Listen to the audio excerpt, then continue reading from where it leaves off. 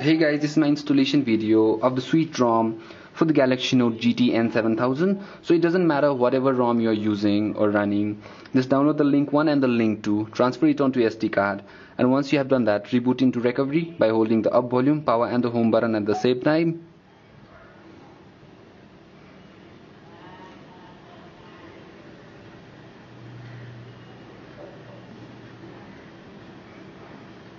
Okay, let go the buttons once you see this.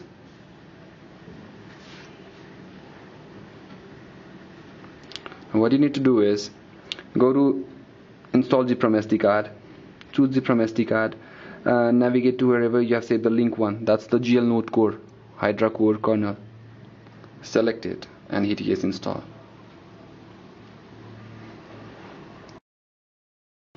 Okay once you have done that go back go to advanced and hit reboot recovery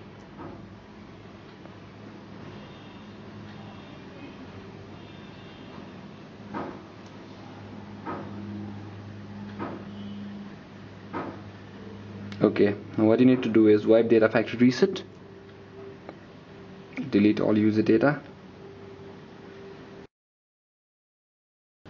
Now again wipe cache partition. Wipe cache.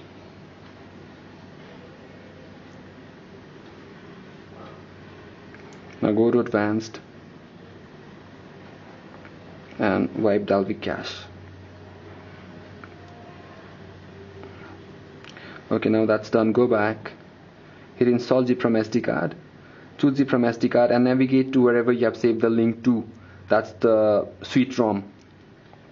Select it and hit yes install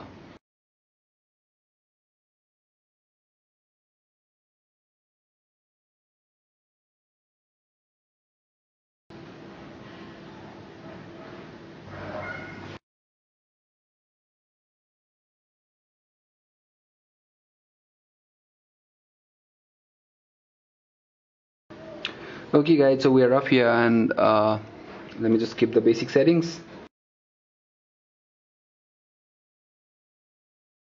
So by default you get this Nova launcher and the TouchWiz home. That's that's from the Galaxy S3 okay so let me just show you what I'm running.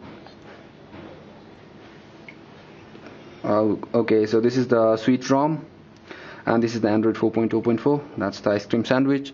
So i'll be reviewing this rom soon guys. So just stay subscribed. Uh, that's pretty much it for the installation of the sweet rom.